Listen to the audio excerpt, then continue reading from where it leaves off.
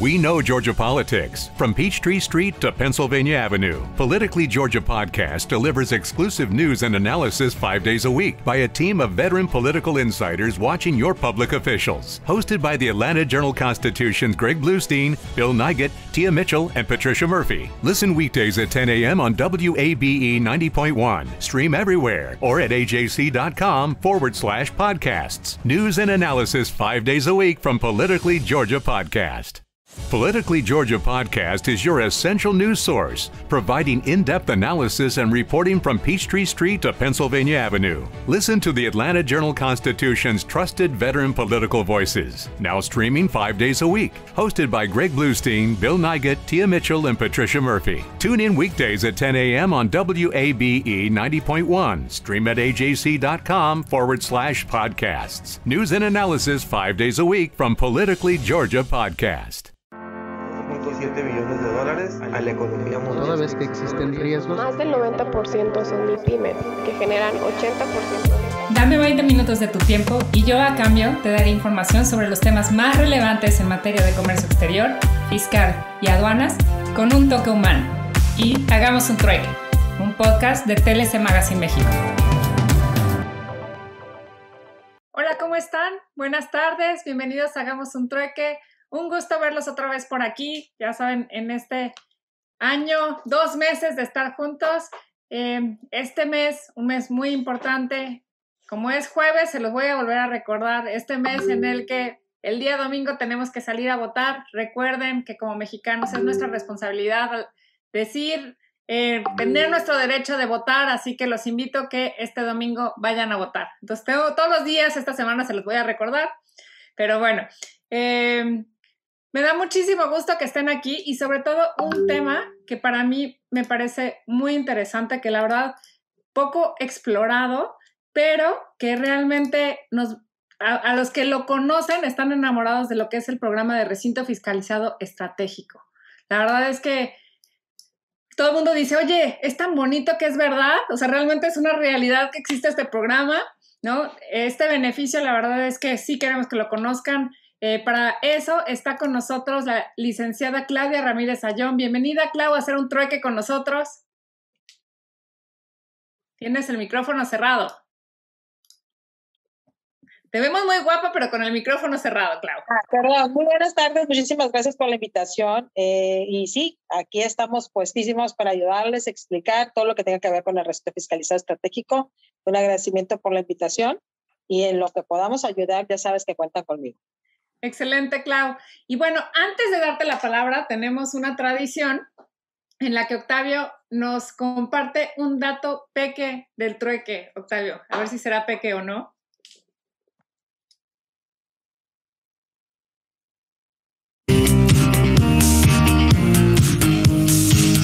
Dato peque del trueque de hoy, la reactivación económica de América Latina y el Caribe. De acuerdo con la edición especial de la revista CEPAL sobre los efectos económicos y sociales del COVID-19, la región de América Latina y el Caribe ha sido de las más afectadas por la pandemia, debido a factores estructurales que han delineado su disfuncional estilo de desarrollo establece que para que la región logre una reactivación económica, deberá implementar significativas reformas estructurales, productivas, fiscales e institucionales que le permitan lograr un nuevo estilo de desarrollo inclusivo y sostenible. El artículo explica que la pandemia emerge en la región en el marco de tres crisis estructurales, social, altos niveles de desigualdad, económica, bajo crecimiento y el rezago tecnológico de la región frente a los países avanzados y frente a algunas economías asiáticas, y ambiental, pérdida de biodiversidad, bosques y aguas, y en la tendencia al aumento de las emisiones de gases de efecto invernadero. Indica que los efectos económicos y sociales de la pandemia en la región ponen en evidencia el desafío que existe en materia de políticas macroeconómicas, sociales y productivas que deberán desplegarse para llevar a cabo un proceso de reactivación post-crisis. Plantea cuatro líneas de acción. Primera, otorgar un ingreso básico de emergencia como instrumento de protección social. Segunda, la entrega de un bono contra el hambre. Tercera, se propone un conjunto de políticas orientadas a apoyar los tejidos empresariales y los segmentos laborales en riesgo de desaparecer por la pandemia. Y cuarta, se propone fortalecer el rol de las instituciones financieras internacionales para hacer frente a los requerimientos de financiamiento a nivel mundial. El documento concluye que se requiere poner en marcha políticas públicas en diversas áreas con especial énfasis en materia de innovación y actualización tecnológica, avanzar hacia un estado de bienestar para apoyar el aprendizaje y la igualdad y rediseñar los incentivos económicos para fomentar la protección del medio ambiente, así como aplicar políticas que brinden estabilidad y que promuevan la competitividad, políticas fiscales progresivas para la igualdad y el financiamiento de inversiones públicas y políticas sectoriales para fomentar la expansión de los sectores que son el principal impulsor de la sustentabilidad. La CEPAL ha identificado siete sectores estratégicos para el desarrollo sostenible en términos de competitividad, empleo, igualdad, descarbonización y sostenibilidad ambiental. Uno, transición hacia energías renovables no convencionales para contar con una matriz energética sostenible. ¿Escucharon? Movilidad sostenible en espacios urbanos. ¿Escucharon? Economía digital inclusiva e innovadora para el crecimiento. Industria manufacturera para el cuidado de la salud. ¿Qué tal? bioeconomía para un desarrollo sostenible basado en recursos biológicos y ecosistemas naturales. ¿Cómo les quedó el ojo? Economía circular orientada hacia el fomento del reciclaje. Y por supuesto, turismo sostenible.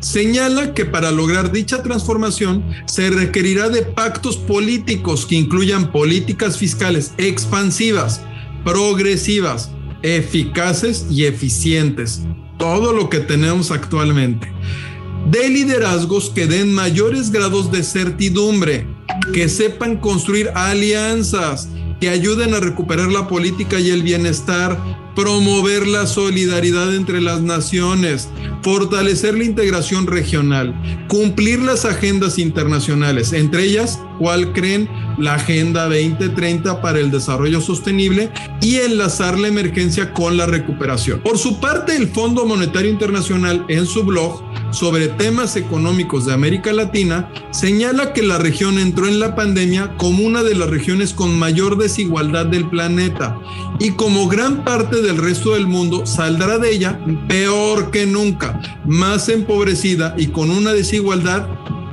paupérrima. Según estimaciones anticipadas, otros 19 millones de personas de la región han caído en la pobreza extrema y la desigualdad se ha incrementado en un 5% respecto a los niveles antes de la crisis. Aún así, estima el Fondo Monetario Internacional que las perspectivas en cuanto a pobreza y desigualdad en la región podrían ser mejores de lo que parece, por dos razones. El resurgimiento de los precios en materias primas, ¿qué tal? y la oportunidad que brinda la pandemia de ampliar el consenso político y social en un entorno de reformas necesarias. ¿Cómo les quedó el ojo? Un documento del Fondo Monetario Internacional estudió el notable progreso que América Latina logró en la reducción de la pobreza y la desigualdad durante el auge de las materias primas del 2000 al 2014. En sus conclusiones, afirma que gran parte de los avances son consecuencia del aumento en el ingreso laboral real de los trabajadores menos cualificados, especialmente el sector de servicios. Este aumento en los precios de las materias primas no va a ser suficiente, señala el documento. Es necesario que la región implemente políticas destinadas a la recapacitación de los trabajadores, prepararlos para los empleos del mañana y de igual forma se vuelve imperante la diversificación económica. El estudio de las estrategias aplicadas por los países que han llevado a cabo con éxito esta diversificación. Ejemplo, Corea, Malasia y Singapur. Esos pueden ser un buen punto de partida. Concluye el documento del Fondo Monetario Internacional que no existe una fórmula milagrosa. pero la crisis actual puede ser una oportunidad de reforma, pues o te reformas o falleces. Si América Latina logra el consenso político y social necesario, ojalá, para poner en marcha estas reformas transformativas, eso me suena familiar, podrá situarse nuevamente en la senda del progreso social sostenible y sentar las bases de una economía del siglo XXI. Aquí el dato peque del trueque de hoy.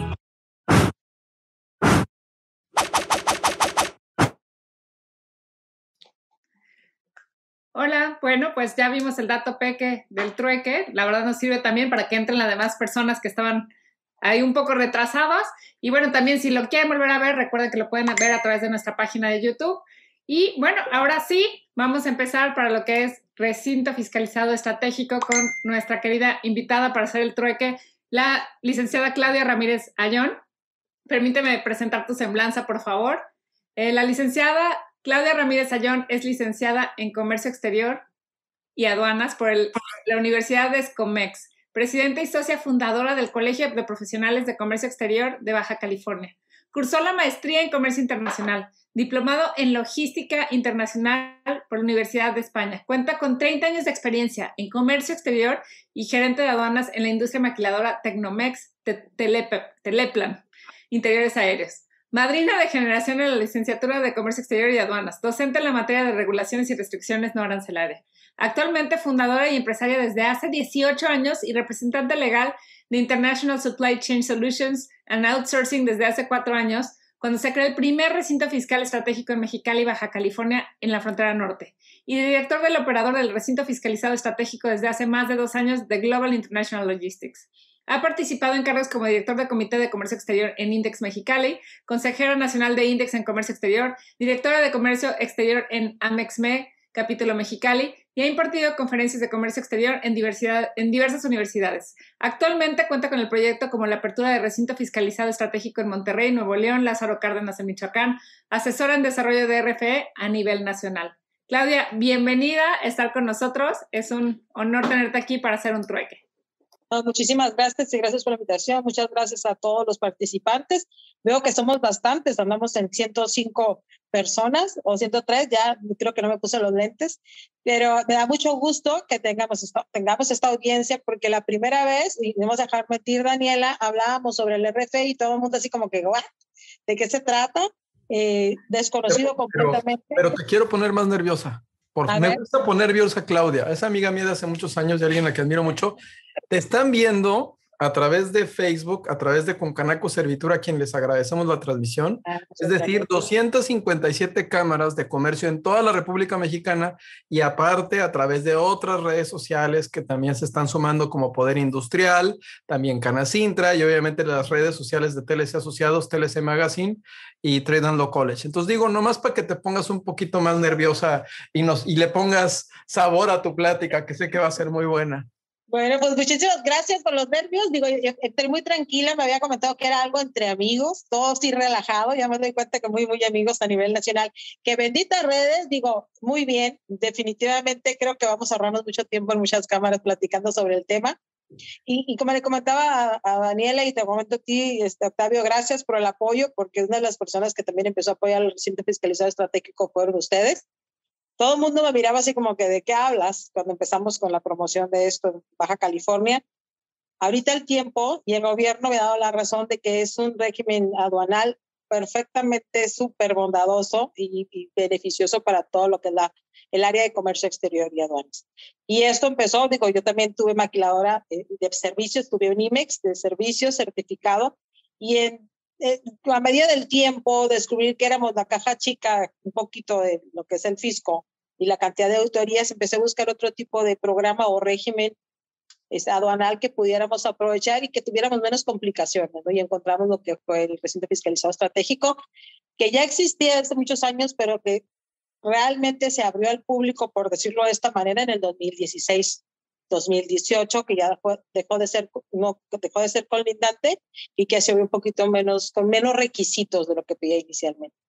Y ahí empezó la historia de International Supply para poder ser administrador este, autorizado y después el operador con Global International.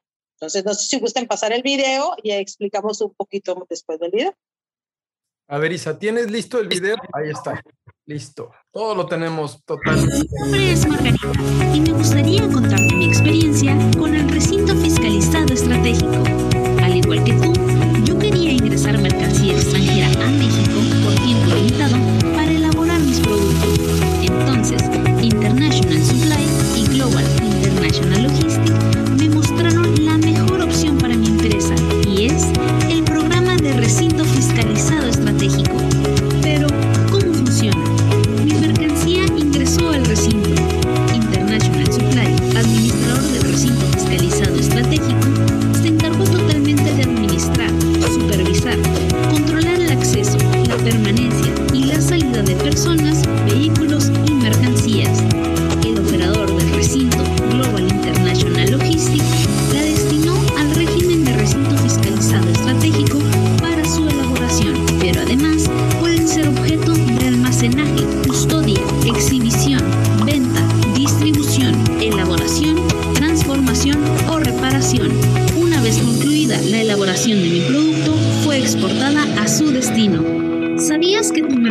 puede permanecer en el recinto fiscalizado estratégico hasta por 60 meses antes de tener que ser exportada o retornada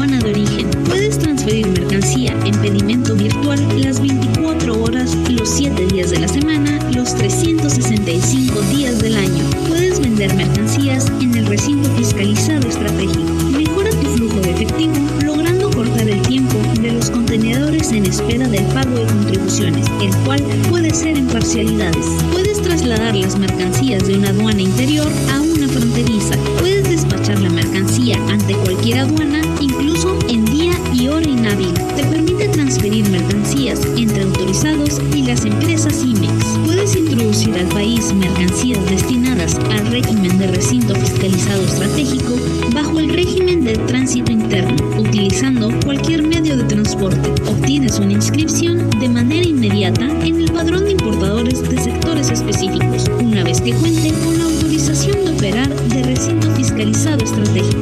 Ya conoces cómo funciona. El recinto fiscalizado estratégico es tu mejor opción.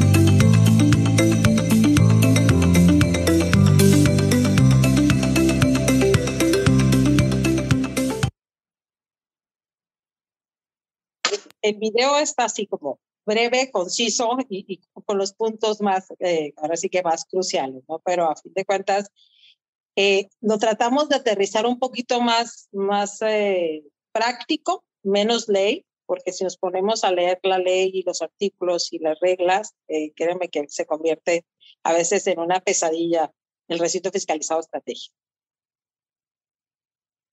No sé si gustas, también vemos la presentación o eh, realmente ahorita que les interesa más ver. Isa, Isa tiene la, la presentación, aquí está. Si quieres la, la, la vamos avanzando. Este, el video me parece muy, muy bueno porque como tú lo dices, ¿no? De manera clara, precisa y concisa te dice los puntos más relevantes del recinto, pero platícanos más a fondo, Clau. Ahí está ya la presentación en, en pantalla. Bueno, nosotros nos encontramos en la ciudad de Mexicali. Aquí iniciamos por ser, ahora sí que originarios de aquí de, de, de Baja California. Quisimos ser pioneros en nuestra tierra. Iniciamos aquí hace 18 años como una empresa 3PL y exactamente empezamos hace tres años ya a migrarnos a recinto fiscalizado estratégico. Estamos abiertos ahorita al público, cualquier persona que quiera utilizar nuestro recinto. Estamos operando actualmente eh, ya manejamos varias, varias compañías aquí. Todavía se está apenas en pañales, conociendo realmente el proceso.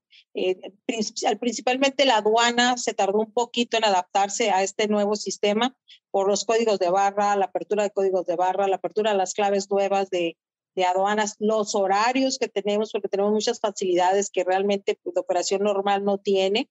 Eh, el, virtual puede ser 24 por 7, puede extraerse la mercancía del recinto 24 por 7 y después se cierra. No hay ninguno, se tiene por qué modular la salida en ese momento hasta que se, consol se, hace, se cierra el consolidado. El, el, principal problema que tuvimos al inicio cuando operamos y abrimos un virtual era eso, ¿eh? que tuvimos que estarnos enlazando a modernización aduanera porque no podíamos hacer la apertura de un virtual consolidado. Y al inicio tuvimos que hacerlo uno por uno. Entonces, pues imagínate el costo para el cliente y el costo para nosotros estar abriendo y cerrando diario una transferencia virtual hasta que ya modernización aduanera pudo abrirse y se pudo hacer el consolidado virtual y ahorita se puede hacer por mes o dependiendo del cliente como lo quiera. ¿no? Y por una transferencia tranquila. El R1, como te comentaba, tenemos hasta 60 meses para poder retornar la mercancía, tenemos 30 días para cualquier cosa que podemos rectificar. La gran ventaja es que se importa bajo una sola clasificación, ya sea por materia prima o ya sea por activos fijos, por eso una sola clasificación especializada para recinto fiscalizado estratégico, que ahí ahorita la firmina la van a ver. Y la gran ventaja con esto es que si por alguna razón llega equivocada la mercancía, si alguna razón viene mercancía de más o mercancía de menos, simplemente con un R1 sin multa, puedes perfectamente rectificar tu entrada antes de salir de la mercancía, entonces no tendrías ningún problema. Los rojos son físicos, no intrusivos, simplemente son visuales, a menos que tuviéramos que cumplir con alguna regulación o restricción no arancelaria tal vez una cuota compensatoria o algo muy específico, tendría que venir la aduana. Hasta ahorita, lo que tenemos nosotros operando, realmente nunca hemos tenido la visita de la aduana físicamente. Siempre ha sido sistemáticamente la liberación de nuestros rojos Your source for Georgia politics, the Atlanta Journal Constitution's trusted veteran political voices. Politically Georgia podcast is now five days a week. Listen weekdays at 10 a.m. on WABE 90.1. Stream at ajc.com forward slash podcasts.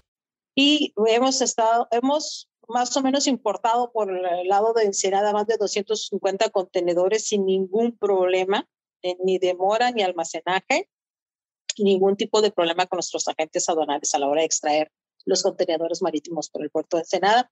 Igual el cruce, ¿no? La, lo más difícil fue que conocieran nuestras claves, ya que no son claves normales, como cualquier otro pedimento, es el M3, que vendría siendo como un aviso electrónico, para poder ingresar al recinto fiscalizado estratégico. Lo que sí cabe mencionar es que para poder gozar de los beneficios del recinto fiscalizado estratégico, sí tienes que tocar base en un recinto fiscalizado estratégico, sí tienes que por lo menos tener 24 horas dentro del, del recinto fiscalizado estratégico, porque ha habido ocasiones, por ejemplo, el cliente que quiere que lo extraiga por Ensenada. Oye, pero es que mi mercancía es de Tijuana, este, ¿no me lo podrás dejar? No, no se puede. Tiene que llegar al recinto, se tiene que inspeccionar, se tiene que checar y luego destinarlo al régimen. O sea, tiene que tocar base dentro de un recinto fiscalizado estratégico. Entonces, no sé, este, esa es una de las cosas que más nos ha costado que el cliente o que la gente entienda un poquito dentro de la operación. Y en fuera te puedo decir que no tenemos ninguna otra complicación eh, tenemos dos auditorías anualizadas ya calendarizadas. Hemos, acabamos de pasar la primera, que fue en abril, nos toca una, la otra nos toca en octubre, sin ningún problema. Eh, realmente aquí lo que más importante es tener los enlaces a 100% con la aduana. Ellos sí están 24 por 7 observando eh, todo lo que sucede dentro del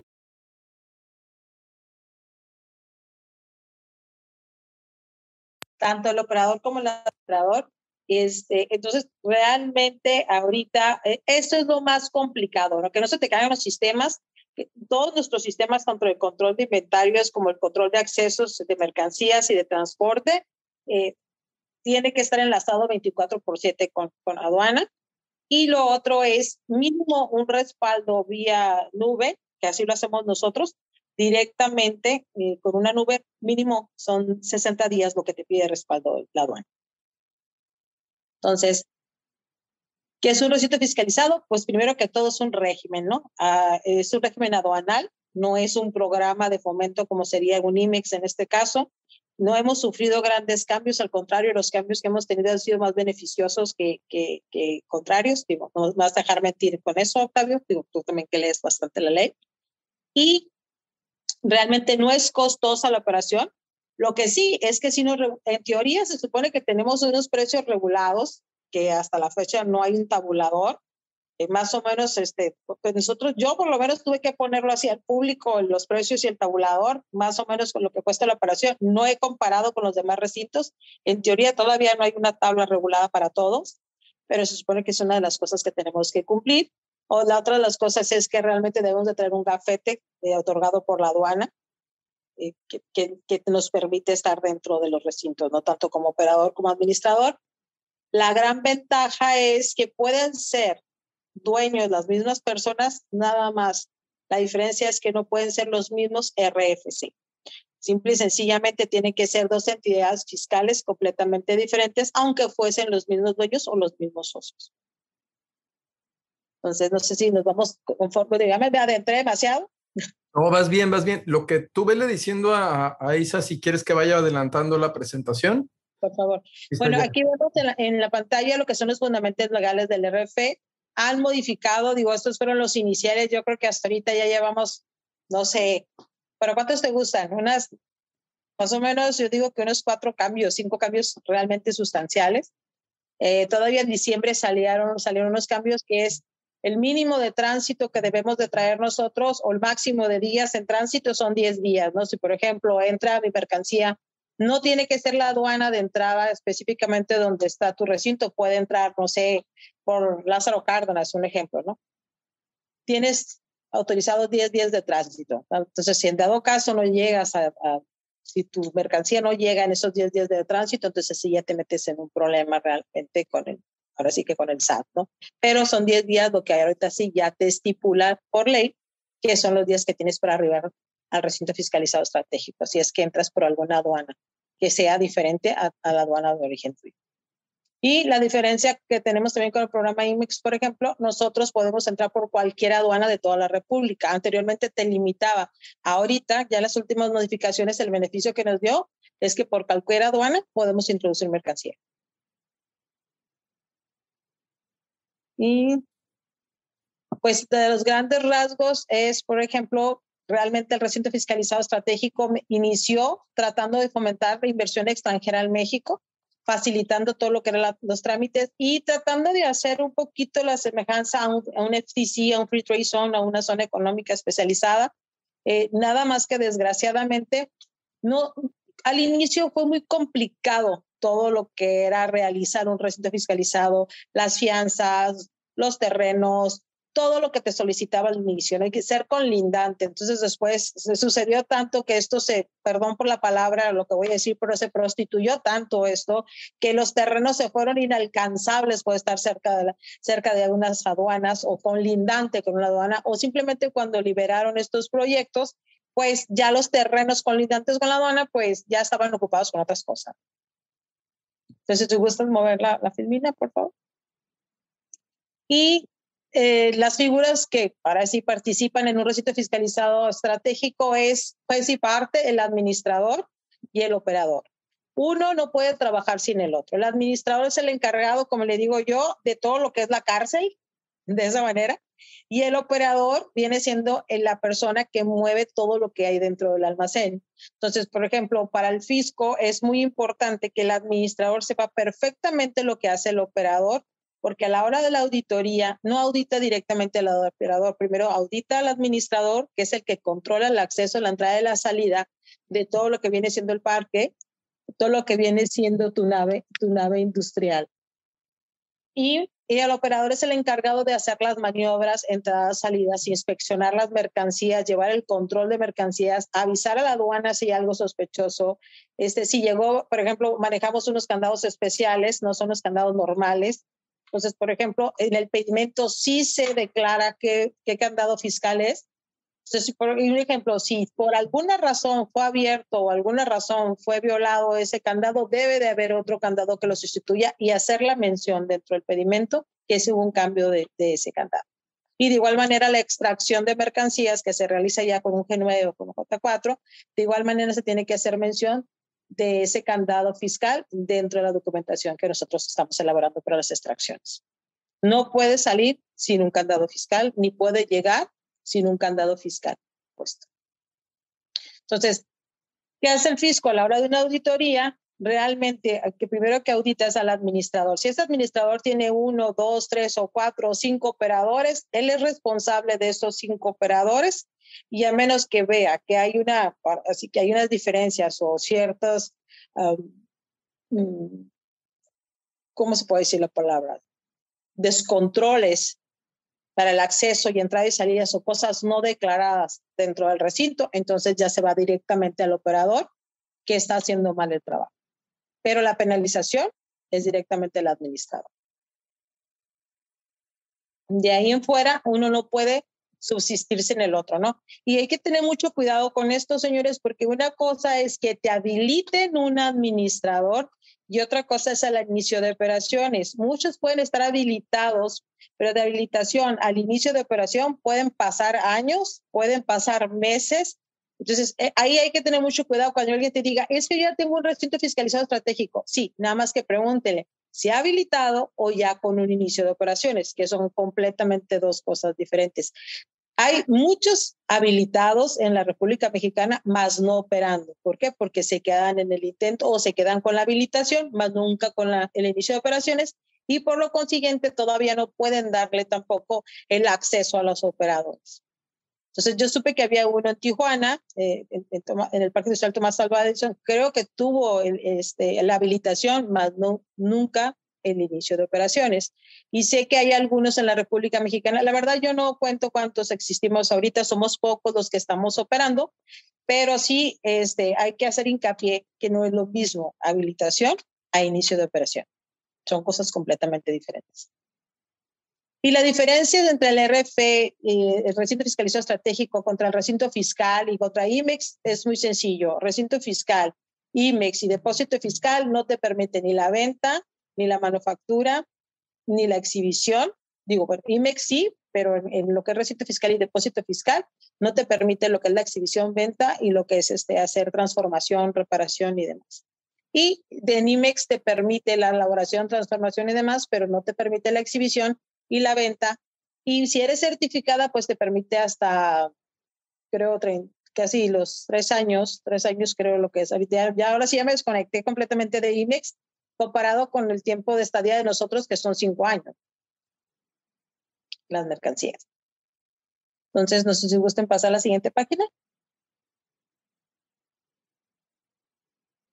Bueno, aquí vienen los puntos, ahora sí, más importantes de lo que es un recinto fiscalizado estratégico, que es el almacenaje, el manejo, la custodia. Ahora sí que ya no tengo, que ya no alcanzo a leer. Ahora. La custodia, exhibición, distribución, elaboración, transformación y reparación.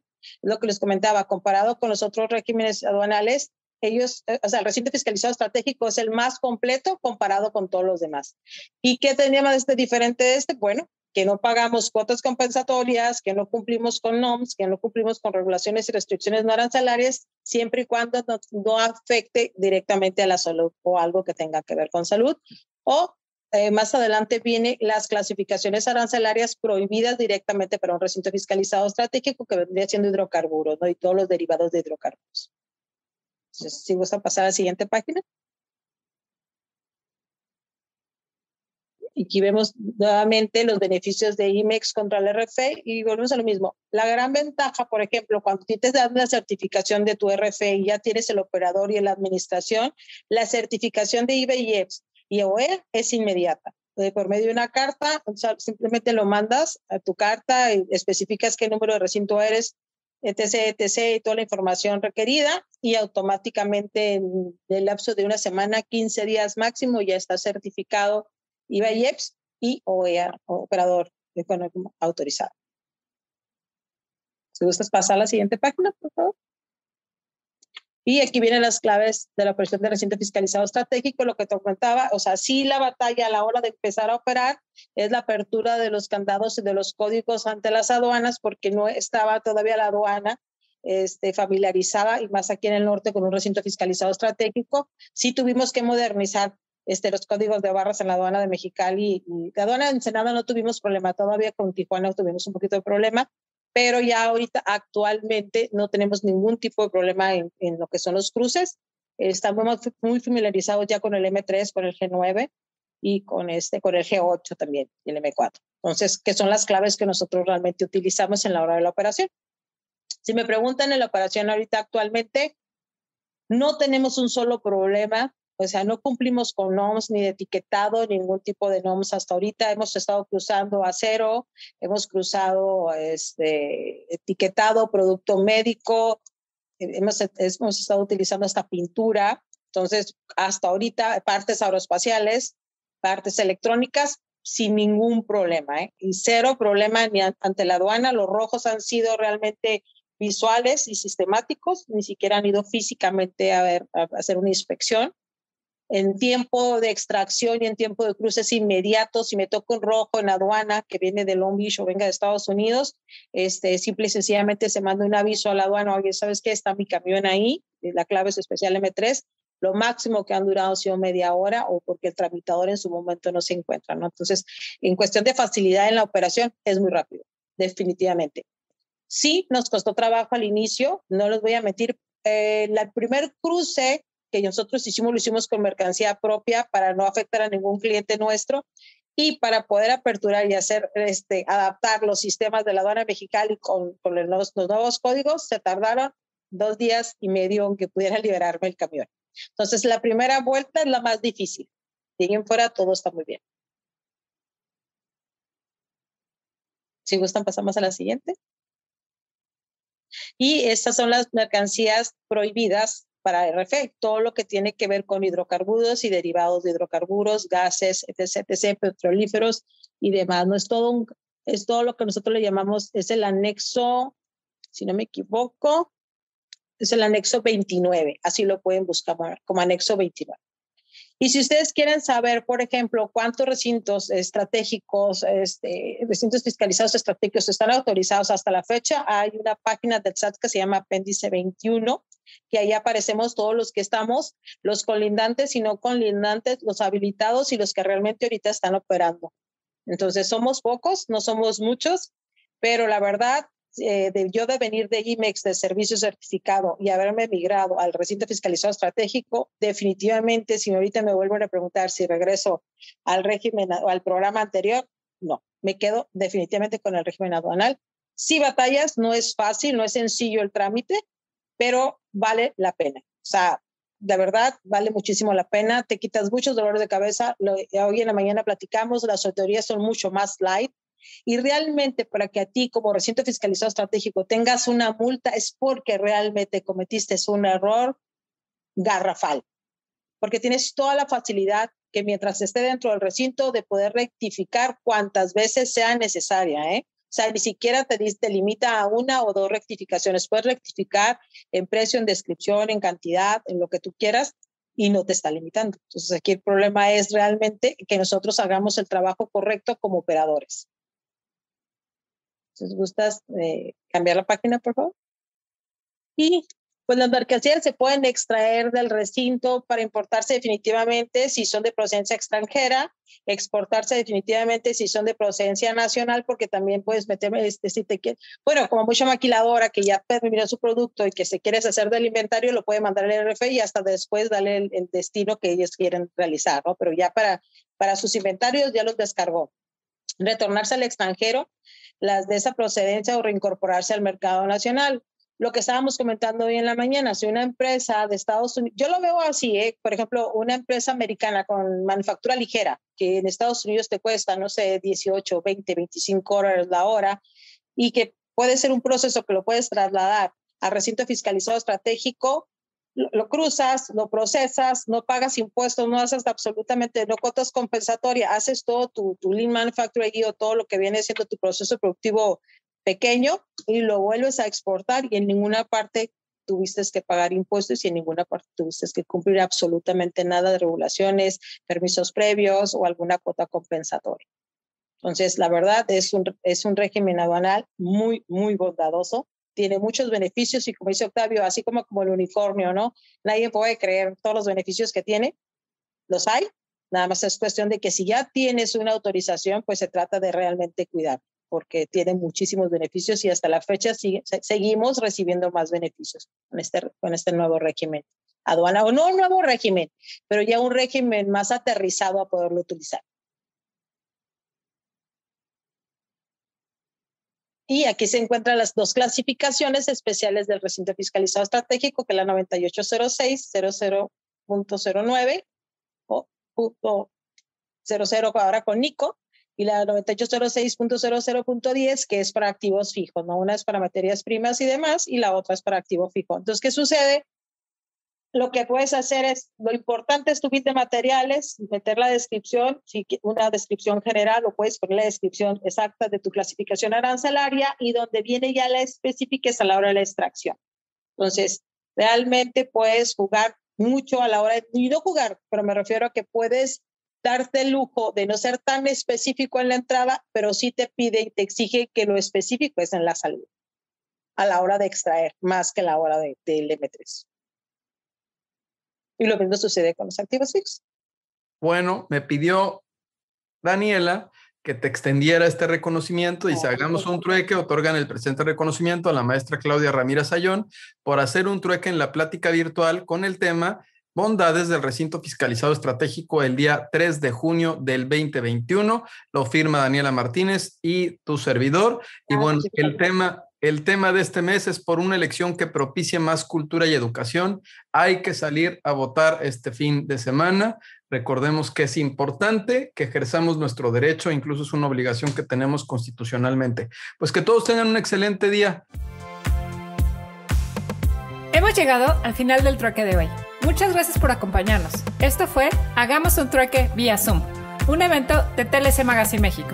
Si te gustó esta plática, no olvides compartir cada evento con tus contactos, para que así continuemos esparciendo conocimiento y nos mantengamos actualizados. Encuentra todas nuestras pláticas a través de nuestra plataforma de educación en línea ingresando a www.tlcmagazinemexico.com.mx en la sección de cursos, donde podrás verlos nuevamente sin costo. Si estás interesado en algún tema específico, envíanos un mensaje a través de las redes sociales de TLC Magazine México y buscaremos un experto que pueda aclarar tus dudas. Esto fue Hagamos un trueque. It is Ryan here and I have a question for you. What do you do when you win? Like, are you a fist pumper? A woohooer, a hand clapper, a high fiver. I kind of like the high five, but if you want to hone in on those winning moves, check out Chumba Casino. At ChumbaCasino.com, choose from hundreds of social casino style games for your chance to redeem serious cash prizes. There are new game releases weekly, plus free daily bonuses. So don't wait. Start having the most fun ever at ChumbaCasino.com. No purchase necessary. VGW. Void were prohibited by law. See terms and conditions. 18 plus. With Lucky Land slots, you can get lucky just about anywhere. Dearly beloved, we are gathered here today to... Has anyone seen the bride and groom? Sorry, sorry, we're here. We were getting lucky in the limo and we lost track of time.